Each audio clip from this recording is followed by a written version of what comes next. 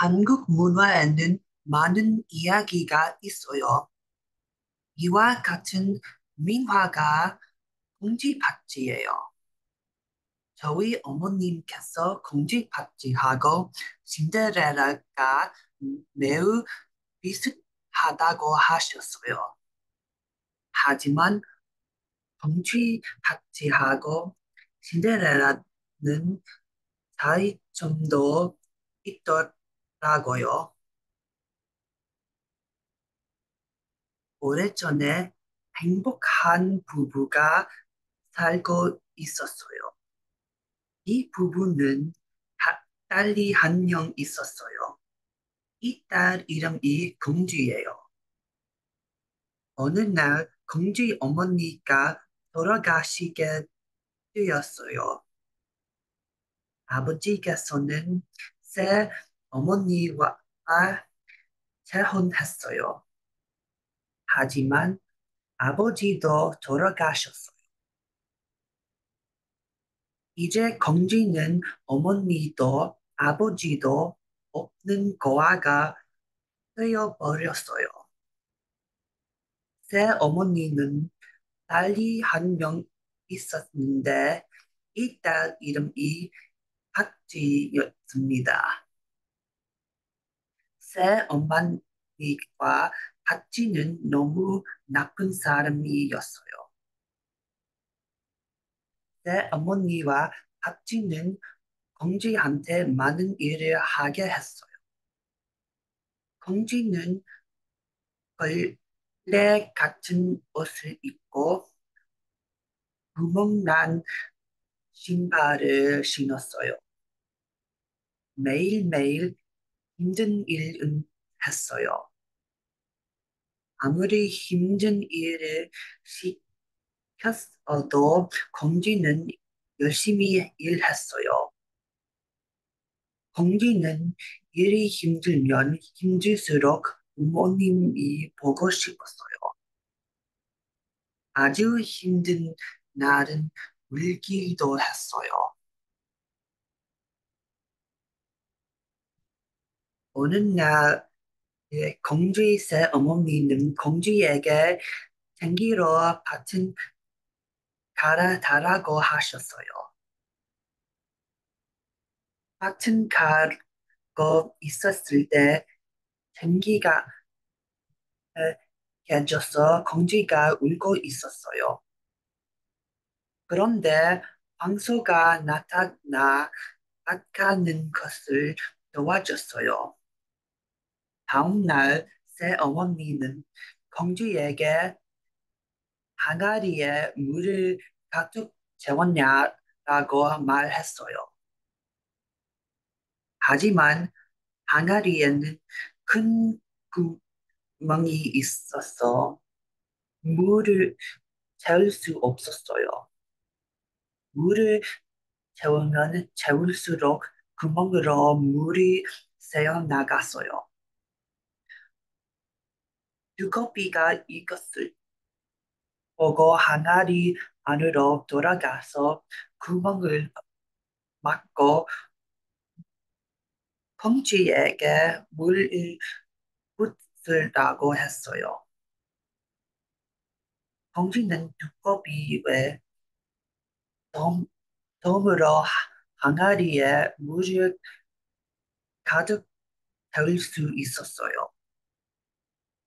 하지만 새 어머니는 그것을 보고 공주를 때렸어요. 공주는 항상 그 밖을 받는 편이었어요. 어느 날 마을 원님이 신부감을 찾기 위해 착지를 열었어요. 공지하고 박쥐도 초청을 받았어요. 새 어머니는 박쥐가 원님하고 결혼하기를 원했지만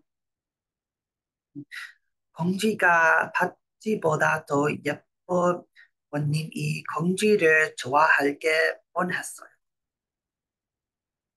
그래서 새 어머니는 공주한테 발껍질 까는 일을 시켜 잔치에 못 가게 했어요. 공주는 자기도 잔치에 가게 해달라고 기도했어요. 이때 잠새가 하늘에서 내려와서 공주의 일을 도와줬어요. 선녀도 내려와서 공주에게 예쁜 옷과 옷신을 주셨어요. 공주는 원님 잠치에 가기로 했어요. 잠치에서 모든 사람들이 공주를 쳐다보았어요. 원님이 공주에게 너의 이름이 무엇이냐고 물었어요. 공주,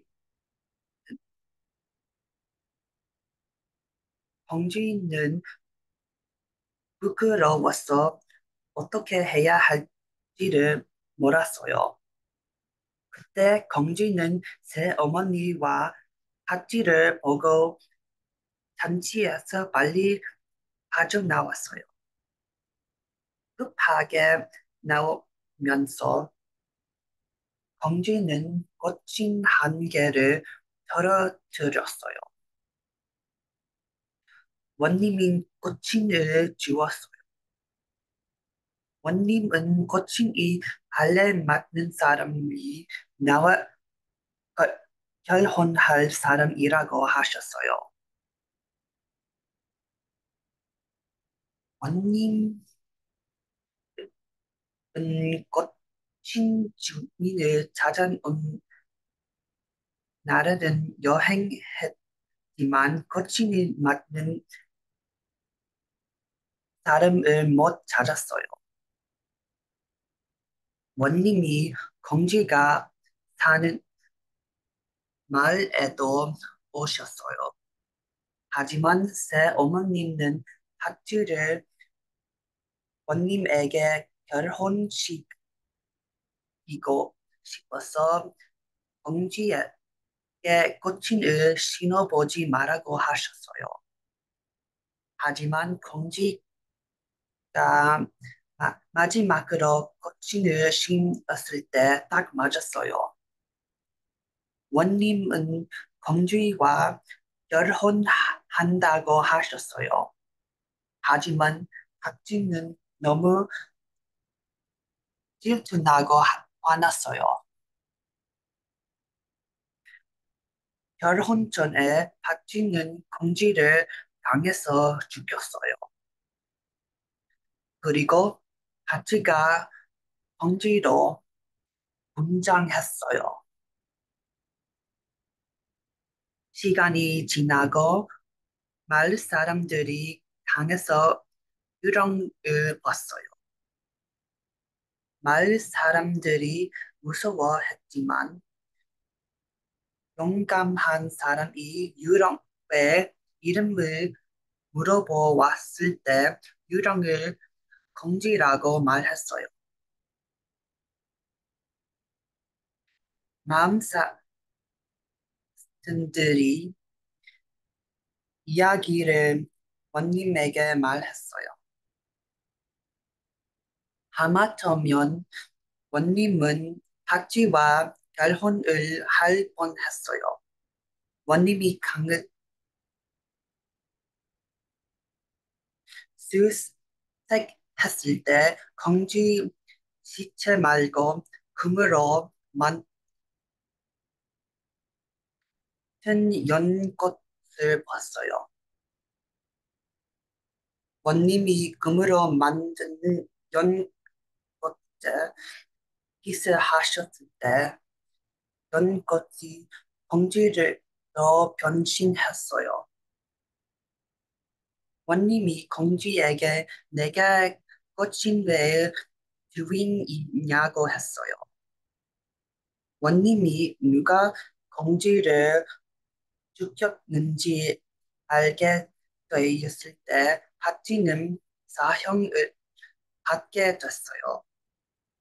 이 소식을 들은 새 어머님은 너무 놀라 즉각 죽어버렸어요. 공주와 원님은 결혼했고 너무 행복하게 잘 살았어요.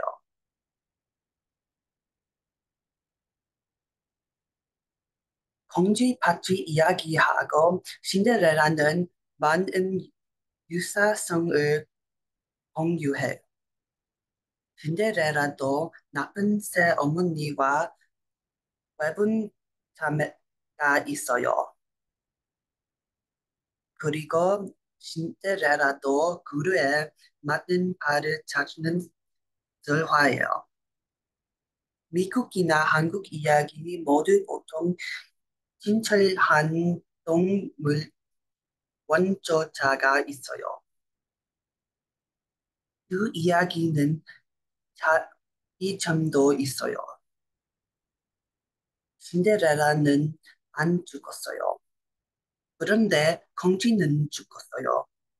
하지만 다시 살아나요. 이것은 환생을 믿는 동양 문화예요. 그리고 파티도 죽었어요. 신데렐라는 새 어머니하고 외부 자매가 안 죽었어요. 신데렐라는 수동적인 사람이었어요. 신데렐라는 복수로 안 하고 싶었어요. 공주는 신데렐라보다 적극적인 사람이었어요. 공주는 죽을 때 복수하고 싶었어요. 이 공주 파티 이야기는 너무 재미있어요. 그리고 중요한 교훈을 가르쳐요. 겸손하고 근면한 사람들은 항상 극복할 거예요. 가까운 장래에 한국 동화를 더 많이 읽기로 했어요. 저도 행복하고 성실한 사람이고 싶어요.